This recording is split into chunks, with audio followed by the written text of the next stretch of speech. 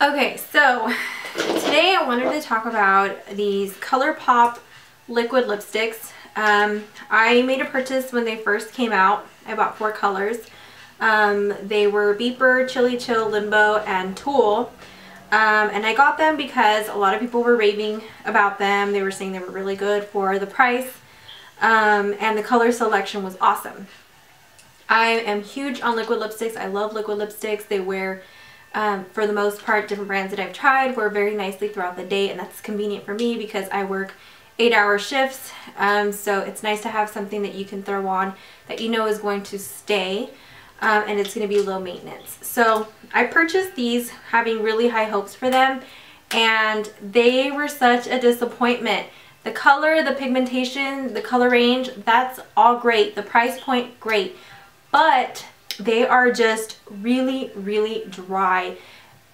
Drier than any other lipstick I've ever tried before. Like when you put them on, they, they like grab onto your lips and they start to shrivel. At least this is my personal experience with them.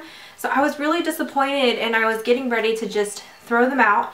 And um, then I thought, well, maybe there's something that I can do to adjust the formula and see if I can make it work so that I can at least wear it even if it's like for four or five hours. Um, so after thinking about it, I thought about perhaps using vitamin E since um, a lot of the liquid lipsticks are already infused. The formula is already infused with vitamin E. It's really moisturizing for the skin.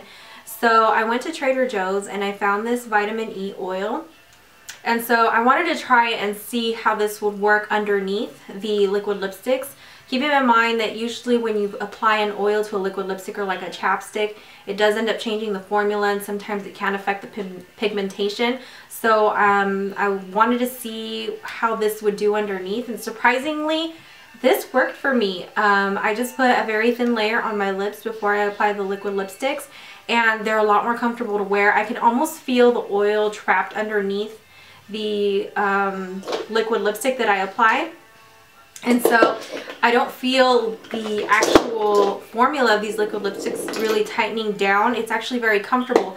And also something that I noticed when I wore this is um, it makes the formula, it slows it down in drying, which is really nice because especially for these more pigmented liquid lipsticks, getting it perfect the first time on application is very rare, at least for me. I don't have that good of practice in applying them and getting a perfect application.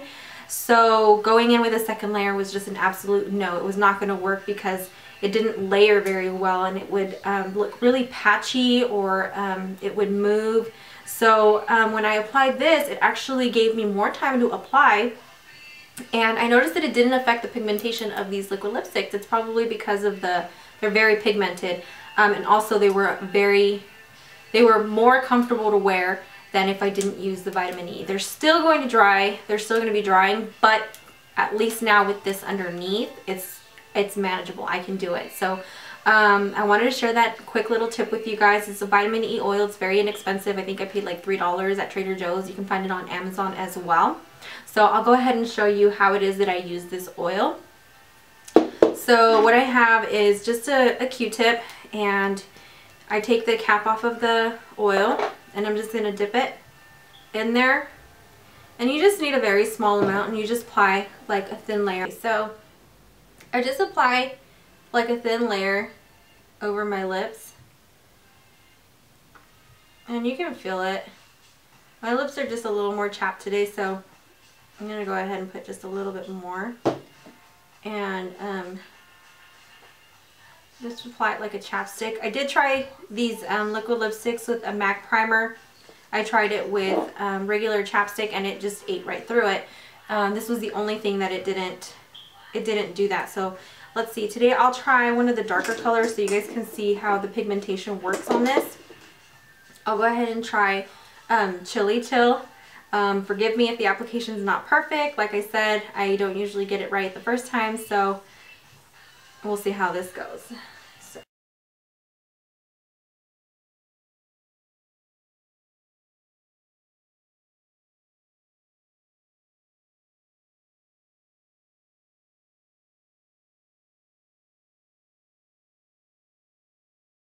so that's the application of the um, liquid lipstick. This is Chilly Chill. On camera it's coming off a little bit less, uh, it's coming off more brown, but it's a little more mauve in person. It's a really pretty color. Most of these colors are really pretty. Um, and like I said, the pigmentation is great. So um, I went ahead and applied it and it feels good. Okay, I can feel the oil underneath. Um, and it's not uncomfortable and it will end up drying um, for the most part with the oil underneath um, it does have slightly bit of transfer once it starts to dry. It's not too much. It's not bad at all. It's barely any but it, you will notice a little bit of transfer. Usually when you don't put anything under these liquid lipsticks there will be absolutely no transfer. Um, but again if you want comfort just go ahead and apply some of that um, vitamin E oil underneath and probably salvage these liquid lipsticks or even be a little bit more um, enticed to try to buy even more colors. So um, yeah, try out this vitamin E. Let me know how this works for you. Um, I hope it helps. Um, thanks so much for watching this video. Um, please subscribe. Um, thumbs up if you found this tip helpful or useful and if it worked for you, comment down below. And I have nothing else to share with you guys today, so I'll see you guys in my next video. Bye.